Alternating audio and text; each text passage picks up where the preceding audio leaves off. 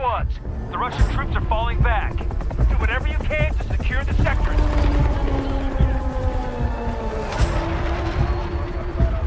We push them back, but not far enough.